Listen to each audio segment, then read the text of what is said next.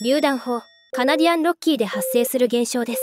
対象者が近隣の町から 3km 以上離れている。被害を加えようとする実態が対象者の近くに存在する。現地時間で午後10時から午前2時の間である。といった条件が揃うとオブジェクトが発生し落雷とともに榴弾砲とそれを扱う人型存在が出現します。これらの人型存在は榴弾砲を用いて対象者に危害を加えようとしている実態の命を奪いその後落雷とともに消失します。